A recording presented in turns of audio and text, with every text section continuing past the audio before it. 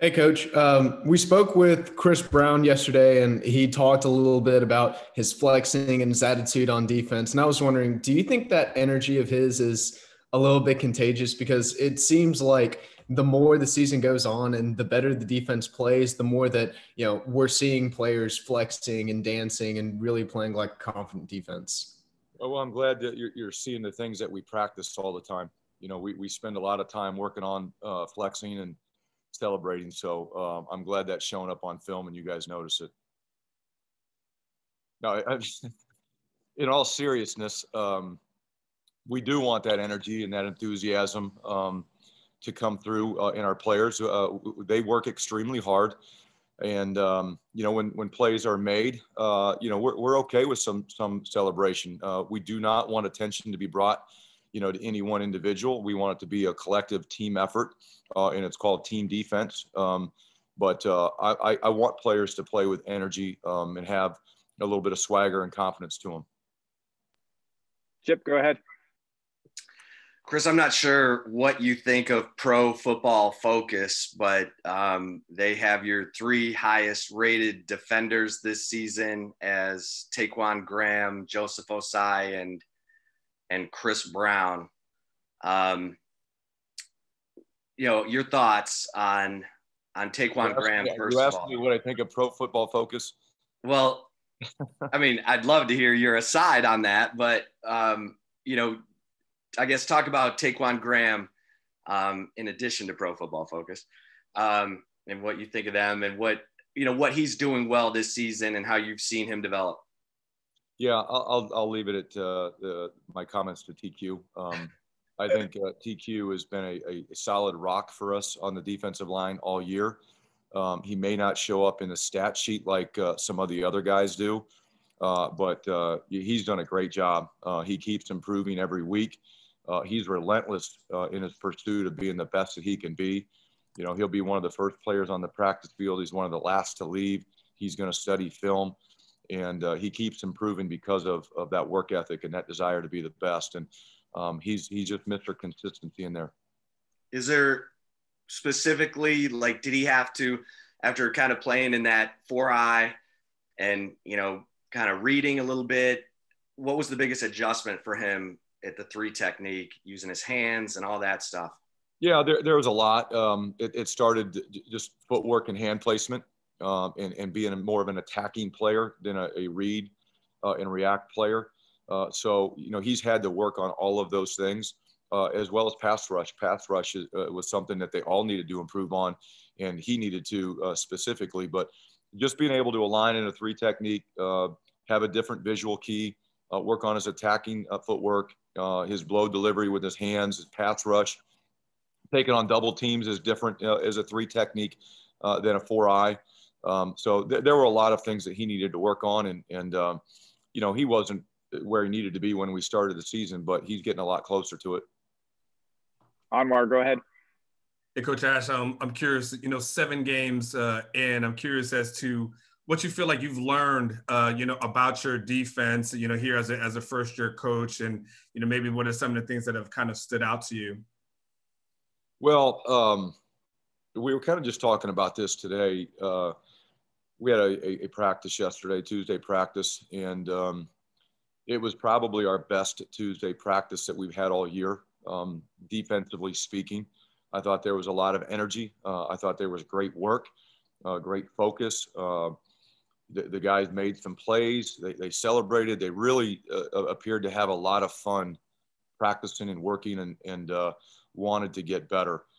Um, and one of the things I, I, have noticed about uh, our defense right now is the culture that we've created um, is in a really pretty good place right now. It's not a finished product by any means, but instead of guys, you know, complaining about going to practice, complaining about getting extra work, they want it.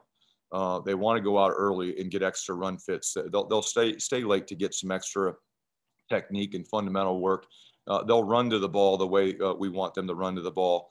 Um, you know, and, and uh, those coach cultural things are, are uh, what leads you to success uh, way sooner than any uh, scheme will. And I'm, I'm really happy with how that's been developed um, within the defense. I think we've got pretty good leadership right now with some of the older guys that have been around.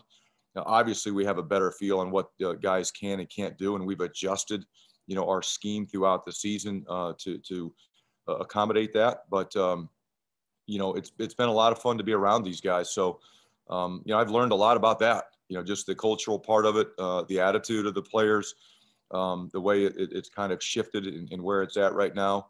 Um, and it's a lot of fun to go to work and be around these guys. Bob, you're up. Coach, just following up on that a little bit, you, you do have tangible evidence now that your defense is improving over the last, you know, three weeks, four weeks. When did you start to see it? When, when did you see the the shift in what you were trying to get them to do um, to them actually starting to do it? And do you expect to and do you expect to start flexing as well? Um, you know, I haven't lifted in a while, so I'm, I'm gonna I'm not I'm gonna stay away from flexing. Uh, hopefully, maybe next year I, I, can get to that point. But uh, right now, I'll leave that to uh, the, the, players. Um, I'll be honest with you guys. I, have seen a lot of improvement. The Texas Tech game was probably the one game, obviously, that uh, we, we didn't play very good. Um, didn't coach very good. Didn't play very good. Um, our fundamentals were, were poor uh, from a tackling standpoint. Uh, outside of that game, I've seen improvement in every game. Uh, what I have seen the most, though, is more consistency here uh, recently than what we would have seen in, in uh, you know, the TCU and OU games specifically in, in, in two games that we lost. Uh, we played some really good uh, snaps in those two games. We had some good stretches uh, within those games, but we were too inconsistent and gave up some critical plays uh, that prevented us from having a chance to win those games. Um, and I, I take those two losses personally. Uh, we, we had leads at, at, the end of those games and, and uh, we didn't close it out. Um, and uh, for whatever reason, and uh, here lately, um, we've been able to do that. And uh, that, that's, um, you know, tangible improvement that, that we've been able to be more consistent and close games out and make plays when we need to at the end of the games uh, to get that done, which we were not able to do earlier in the year. Brian, go ahead. Chris, how much does it help that you know it's you guys aren't just a one man band. I mean, Joe Ossai has gotten a lot of attention for for good reason, but DeMarvion's third down blitz, BJ, uh, Chris Brown breaking up passes in the end zone, TQ making plays. I mean, you're you're getting stuff from a lot of different people, and how much does that uh, boost the overall confidence of the room? Well, it's it's very important. Again, the only way we're going to be successful is we do it together as a team, as a unit. Um, you know, you, you the defense could have one great player. It doesn't mean you're going to play good team defense. Uh, it takes 11 players to to play good defense, and um, we're not where we need to be yet, but we're we're getting closer and we're getting better. And as we continue to climb and improve, uh, the attitude and confidence of the uh, the unit continues to grow. Um, like I said, I think last night's uh, practice was a reflection of that, uh, in my opinion. But um, the fact that, that there are a number of players that are contributing uh, on Saturdays uh, and making plays in critical situation. Uh, it, it, does help the the overall attitude, the confidence, um, the culture of the defense. Kirk, you're up. Yeah, Chris. Uh, Chris Brown said uh, you you crack on him frequently about having the little man syndrome, and I wondered if that's something that really motivates him as kind of an undersized DB. Well, he he is undersized. I do um, I get after him quite a bit for a number of reasons. Being you know five nine uh, is one of them. Um, but uh, you know for for such a a uh, uh little man uh, in your terms, um, he is very competitive and uh, he practices extremely hard. He plays with a a crack on his shoulder, so to speak, um, because he, he feels like he's got a lot to prove because of, of his size. But he is really, really competitive. He's tough, um, and uh, he works really hard. So he's been around here as long as anybody, and um, it's it's good to finally see here in his, his fifth year that uh, a lot of his hard work is starting to pay off, and and uh, he's contributing to this defense and this team right now. And what do you and, and Coach Herman feel like it's kind of held him back? you know, he's just now kind of starting to break out in his fifth year. Uh, I, I, couldn't comment on anything from the past. Um, I do know that there's been a history of some injuries, I, I believe, uh, in his past. but uh, I, I couldn't comment on anything um, at all that's that, that maybe kept him from, you know, playing as much as he is right now. Has he become one of the leaders on your defensive unit? Yeah, he he really has. Um, he's been one of the leaders basically since I've been here. I, I don't know. I, I, th- I, think part of it is just he's been around here uh, uh, more than anybody else, and he kind of feels like it's his time. Um, and he, he wants to go out on a positive note. He wants to leave a legacy here at the University of Texas. He wants to be a difference maker um, uh, on and off the field, and I think he's he's trying to do that. He got his degree uh, this last spring, uh, which I'm really really proud of him for for being able to get that done. Uh, so um, he's in a good place right now. Um, he's probably not probably. I, would say he is playing his best football uh, right now. He's got to continue to improve and help carry us uh, through the end of the season. But uh, I like where he's at. Thanks, Chris. Anwar, go ahead. You didn't unmute me. Um, hey, uh, you so didn't Coach, like what you were going to say. um, you know, I coach, I, I, know you guys always preach like, you know, want to know, but I mean, your players are very well aware that. If you guys win three straight, uh, they can go to the conference championship game. So I'm curious, how do you balance that? Do you use this, this, this upcoming stretch as a motivator? Do you try to have tunnel vision and act like it doesn't exist because your players are well aware of it? I'm just kind of curious as how do you guys approach it? Well, we've gotten to this uh, point right now in the season because we've just focused on daily improvement. You know, uh, we, we, talk defensively a lot about using uh, the past um, as a lesson uh, you, that you learn from, uh, good and bad. We use the future as motivation, uh, but the only way that um, you know we're going to get where we want to get is stay, stay present in the moment, and uh, we, we've got to focus on improving daily. we have made improvements. we talked, um, I think, you know, in these sessions before after a couple of losses, how would this team respond? And I think they've responded in the right way because their focus has been on the right thing. And that can't change today. It can't change this week.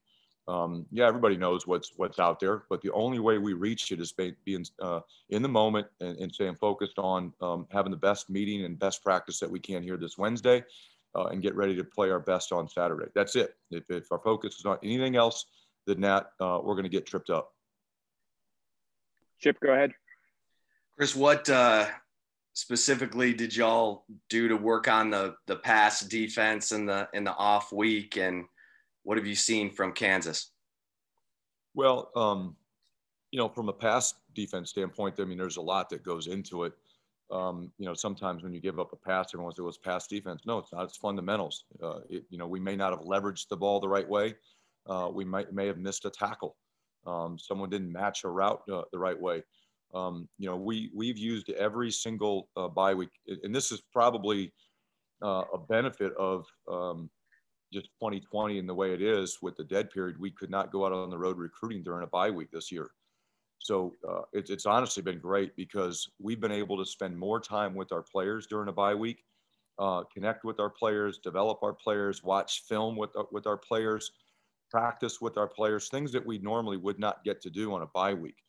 So each bye week, we've gone through the, the way the season has been set up, and we've gone back and self-evaluated the previous three games. You know, and uh, we did that this this past bye week, and we looked at all the things that we were doing well. We looked at the things that we have struggled with, and our practices in the bye week defensively were set up to try to work on the things that we have struggled with, because each week uh, we get attacked the same way uh, until we you know take it off uh, the film and eliminate it. The, the next team is going to continue to do it. So we spent a lot of time uh, on uh, leveraging the ball on the perimeter. Uh, we had some issues against West Virginia with, with some of the quick screens on the outside. we worked on continue to work on tracking the near hip and our tackling. we worked on some of our underneath pattern matches that we've struggled with at the linebacker position. we've worked on you know, finishing better on, on deep balls uh, with the DBs. So uh, we've done a little bit of all of that. Um, and I think, again, it, it's kind of a, the value or I guess the benefit of uh, the, the dead period right now in recruiting that we've been able to utilize the bye weeks more so than any time in my career. And um, I don't know what the future will look like to, when we get out of this uh, pandemic, but um, I, would sure like to be able to have that opportunity as we go forward. In Kansas, what um, stood out?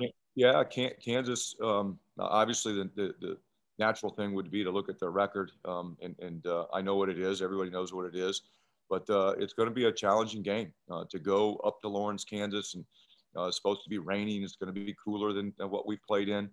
Um, uh, you know, just that, that, that part of it alone is going to be a, a challenge. Um, the quarterback is a runner. Uh, he makes a lot of plays with his feet. Um, some of the things they do in the pass game are some of the things that we've struggled with in the last few games uh, that we're, we're going to find out if we've got them cleaned up or not. Uh, otherwise, they will expose us. So um, we've got to just continue to go and uh, whoever we play and wherever we play them, we got to continue to focus on playing better. Got time for two last ones, Chris and then Bob. Chris, you talked about how this team is focused on the day to day, not looking long term with getting to the Big 12 championship game, and how you feel like every game you guys have improved, and you had those that that one bad game and that bad stretch. But just how, given where that where this defense was against Texas Tech and TCU and OU, to where you guys are now, coming off three straight wins and a bye, going into this final stretch, how different do things feel with this defense and your group now versus when you guys had those struggles early on in the season?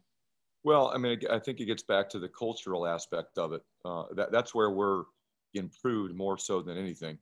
Um, uh, look, I mean, if anybody thought I was going to be able to come in and just wave a magic wand and all the issues that the defense has had in the past were going to be gone without spring practice, um, you know, that, that, pro- you know, as much as I wish that would have been the case, that probably wasn't realistic.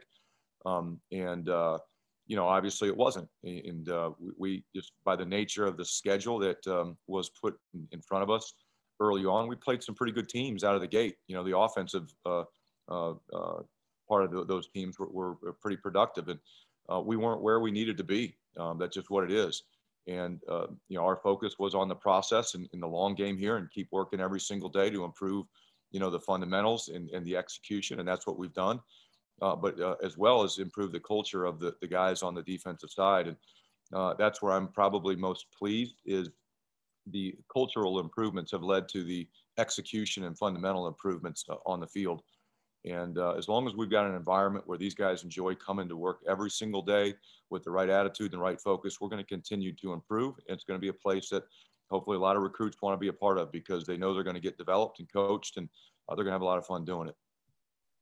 Last one, Bob. Yeah, and Chris, just just kind of on that note, you, you talk about the cultural aspect of it. Is that what what gets your guys in the right place mentally when you are playing a team that's 0 and 6 and they know the record and they know the the history?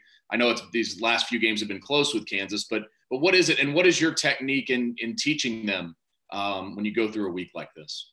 Yeah, I mean, I think that's the, the culture that you've created carries you through uh, everything, the good times, the bad times, um, you know, it, it, keeps your focus uh, on the right things. Um, and it, it, keeps you focused on trying to play the best that you can play, regardless of who you play. And that, that's really been our message uh, since I've gotten here with the defensive guys. That's all I can speak on is the defensive guys. It's just uh, consistent, constant messaging uh, about that and how important that is. Uh, and I, I, think really right now, I, I, feel like our players have bought into that. Uh, they believe in it. Um, and that's led to us improving the way that we have. Um, so it's just it's constant i mean it's every day talking about something uh, around our culture and, and what's important for us to continue to improve um, and uh, again our, our, guys are listening coach I, I, know you've only been here for less than a year but um, in that time what's it been work what's you know overall what's it been working like with sam ehlinger and since next week might be the last time he plays at a home crowd what do you think his legacy as a longhorn quarterback is like well, it's been a it's been a really awesome experience so far in in Austin, and and being able to work with an elite uh, quarterback such as Sam, um, all that he brings to the table. It's been unique uh, at the same time because of his experience. Wanting to draw from that as a coach, and um, there's been you know our communication has been a two way street, and trying to get him more confident and and uh, and, and you know he's a he's a player that's already confident in what he does and, and just try to enhance him. And and uh, the process has been a lot of fun. It's been uh, very enjoyable. I really enjoy his personality.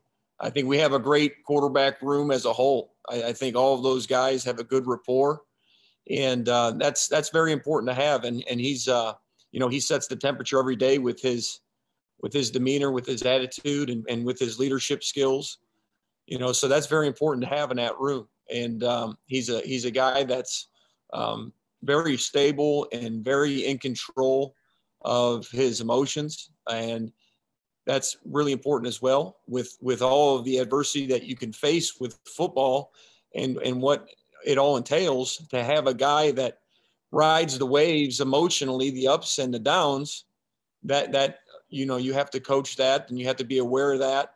And so there is none of that. And and the best thing about coaching Sam is that the younger guys get to see and model um, how he prepares, um, how he gets his body right, how he gets his mind right.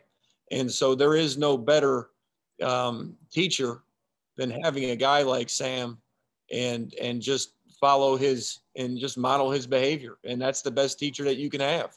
And i've reinforced that you know and and not to blow smoke up up sam or, uh, or anything like that. It's just what's real.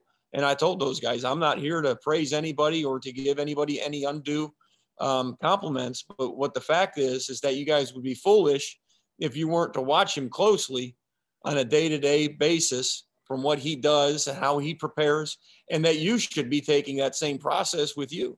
You know, that's the emphasis with the young quarterbacks. You know, and um, you know every day can be can be an, an opportunity to improve, and you bank that improvement every day. Every day you can take that meeting or take the information you learn and you build on that. You bank it. It stores. And even though you may be redshirting, right? You may be redshirting this year. Those meetings time after time after mental rep, after note taking, all of those things, those all add up. And it'll make for a more prosperous redshirt sophomore year, or maybe your junior year, or wh- whenever you get the opportunity um, to produce. All of those things add up over time. So um, I hope I hope that uh, that answered your question. Chip, go ahead.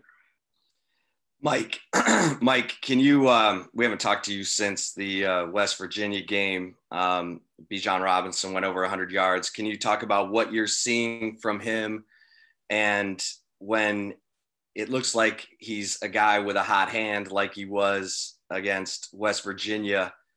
Uh, do you guys adjust maybe the idea of rotating uh, backs every other series. I know Bijan's been getting a couple series and then the rotation starts, but um, can you take us through that process and, and how, how it adjusts when you see a guy getting a hot hand? Sure. I mean, it's, it's um, not real complicated. I mean, obviously if a, if a guy's heating up and, and feels the rhythm, you want to continue to, to get the ball in his hands. Um, that's not rocket science, surely, but at the same time, I think Coach Drayton needs a lot of credit because he's managed it the whole way. And when you have a young guy like that and you play him too fast too early when he's not ready, you can uh, disrupt the development. And so he's he's done this before. This is in his first uh, rodeo, so he's been masterful at his management of that room. at the same time, we got to continue to keep guys fresh and rotate. That's important. And how his progression has been, Bijan, uh, that you asked, it's it's come along um, steadily. Um, that's the word that I would use. It's been steady improvement um, and vision and seeing his read keys and being able to cut and sync up with the offensive line blocking has been most critical and that takes time. So, you know, it's not built in a day. And, and if we had a spring ball and extra practices and more scrimmages, you probably would have seen it earlier. But, you know, it is what it is. And we're here today. And there's been steady improvement with him and his production. And Coach Drayton has done a great job, man. Jeff, is that is the, is the vision part of it? Is that the the biggest thing you've seen from him in terms of how to? Yeah, I'd say so. Yes, sir. Go ahead, Jeff. Hey, Coach, with uh, with Brennan Eagles, uh, you know, Brennan was the guy going back to the spring he was vocal about wasn't sure if he was going to play or not or sit out, but you, know, you get him back, and uh, I know you know the production hasn't been you know robust for him in, in terms of, of numbers, but it seems like the consistency with him is starting to be there game by game. Have you noticed just kind of a, a growing consistency with Brennan at all from a game to game basis and, and even day to day in practice when you're with him? I have. Um, I'm, I'm, pleased with with uh, where he's at in a mental framework and and uh, his production again has been more steady and continue you know continuing to improve. We hope that continues to trend in the right direction. But it's it's he's he's one of those guys that is uh, he he cares a lot about the game. Um, he has a lot of pride in what he does. So you get his best effort on Saturdays, and uh, you know we need to make sure that we continue to uh, get him to to practice very hard and which he does. He practices with tremendous effort, and um, you know, I I think uh, you know his best football is still ahead of him, and I think uh, he'll continue to make strides and make improvements, and um, very very high ceiling for that young man. Anwar, go ahead. Hey, uh, Coach. Um, you know, Sam talked about, and when you look back at some, some of the film, just kind of missing some throws in the in the previous game curious as to how do you work on the you know the accuracy uh, with Sam. Uh, and my other question is, can you just talk about the development of the quarterbacks behind him? I'm curious how you know Casey, you know Hudson, and Ja'Quinden, uh, how that that development has been going as well. Yes, sir. How do you develop accuracy with your quarterback? Um, you practice and you practice and you try to simulate as many real game situations as possible. Um, so incorporating different types of drills um, help you in your accuracy. And, and we do certain drills, not to get too, um, you know, quarterback uh, lingo with you. We do we do some some drills that help him and help all quarterbacks develop the accuracy and and it develops them a sense of confidence. Um, and what you want to do is help them with their anticipation uh, and help them with real movements, right? You want to want to try to incorporate as many drills as you can to make the game to simulate the game, I should say. And so we like to say that we don't do one drill that you can't see on Saturday afternoon. When you put on the game tape, you should be able to see your drill work within that game. Now, not every game will have a run up drill or an Elway shuffle or whatever you are working on, but you try to simulate that and you try to make as many awkward throws in practice as you can with along that, along with that, excuse me, you cannot overdo those drills to where one, they're too mechanical, or two, now they start to wander because everything that you're doing is an awkward throw and they have a clean pocket and they're making an awkward throw pass and they don't necessarily need to do that. So you you have to be careful with your um, I don't know inventory of drill work and make sure that it's you know the right ratio of, of every drill that you're trying to accomplish. Um, you want to try to be proactive. So you don't want to sit there and see Saturday game tape and say, oh man, now, now since he made this mistake, we need to incorporate this drill. Well, you should be doing that drill before that mistake happens. So you have to try to analyze that and, and, and get in front of that deal. Um, but uh, the development of the rest of the room um, has been has been awesome. I think it's been a lot of fun. The hard part when you talk about development of younger guys is how do you get them game reps because we all know that quarterbacks can look great in practice. And then in games, when the lights come on, it can be a different deal. Um, so that is the challenge. And it's hard to prepare uh, the backup, let alone two and three younger quarterbacks under your backup. So we do have a, a period for the younger guys to develop. And obviously the backup's getting prepared. And so we are doing the best we can to try to simulate those games, those game situations. And, um, but, you know, they, they, they each are, in my mind, improving uh, both mentally and physically. To pick one guy out and single him out, I think is unfair because I believe the improvement is, uh, is, is with all of those guys in, in that room. Kirk, you're up. Yeah, Mike, uh, do you expect uh, either Wiley or Brewer to play, or are you going to do depending on Malcolm Epps, or and how much could this limit your game plan? Yeah, I'm gonna, I'm gonna, Kirk. I'm sorry, but I'm gonna let Herm talk about all all personnel issues. That's way you you hear it from one guy and and no mixed messages. And can you talk about Epps and yeah, just sure. Does this limit you the fact they have been injured? Any injury, you know, and any shortage um, is, is going to uh, impact you. Um, hmm. one, you know, what, what personnel are you now able to line up in? And, and obviously, you know, you still have to have a contingency plans because somebody can get hurt within the game. So you don't want to be shackled and, and being a bunch of whatever personnel you're in. Say if we were in two tailbacks, and all of a sudden we get uh, an ankle by one tailback, and half the game plan has to get thrown out. Now you're sitting there scrambling. Um, so we have to make sure that we're staying within our system. We feel, you know, 11 personnel is is you know uh, going to be the majority of what we do. You know, and and you know how much 12 depends on the health and and the schemes and the matchups that we uh, go against each week. But you sure as heck don't want to. Uh, you know, pigeonhole yourself and and um, be caught if in case another injury happens on game day. That's the challenge. Chris, go ahead. Mike, the offense the, these past few games has seemed a little up and down, but you're still able to get the win, score score more points than the other guys, which I know is the goal. Obviously, you want to work on some of the consistency with that, but what does it say that this offense, even if it doesn't always look pretty, is able to find a way to get it done? And, and how pleased are you with the fact that they're doing enough to still get the wins, even if they're not doing it on a consistent basis like you want to see? Yes, Chris, that's a great question. And um, the improvement uh, ha- have to be made, and we have to have more consistency on this side of the ball. There's no question about that. Um, but but what you refer to to me, Chris, refers right to or correlates along with uh, leadership on the offensive side of the ball um, the belief in the system, the belief in the coaching staff, the belief in the culture here at Texas.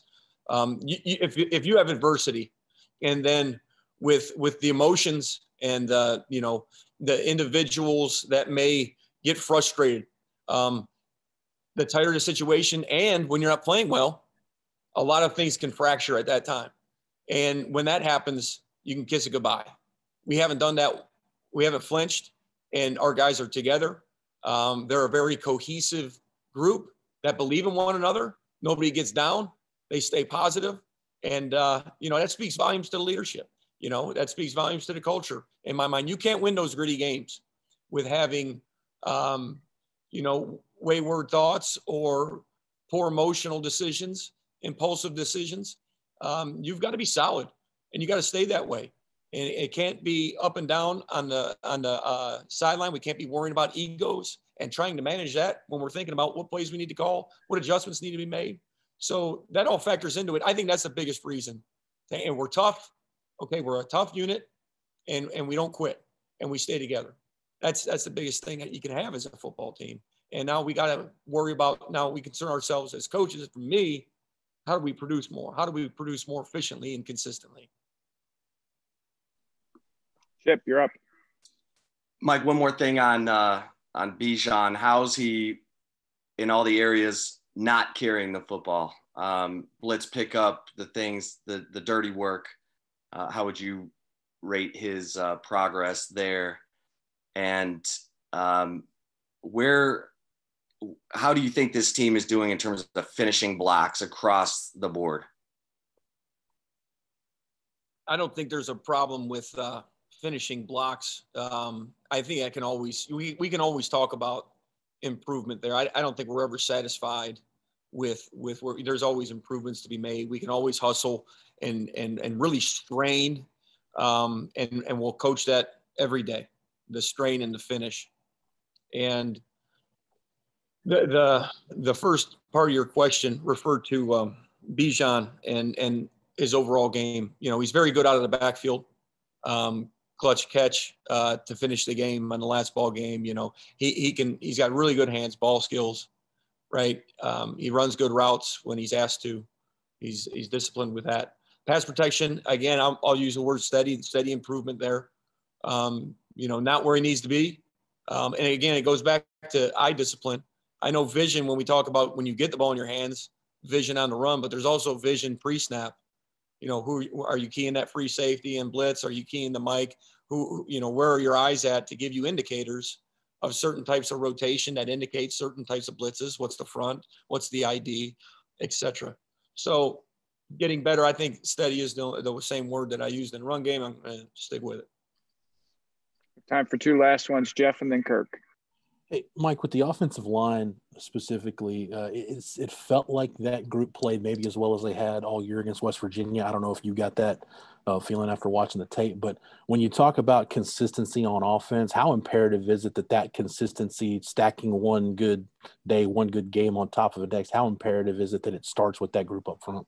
I think it's it's huge. Um, and what you're referring to really is the is confidence. Uh, you're, you're gaining confidence uh, with each and every block, with each and every series, with each and every game.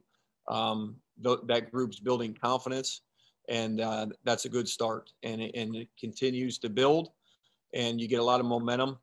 And uh, those guys are feeling good about themselves right now. And and uh, you know, Coach Hand is doing a heck of a job with those guys.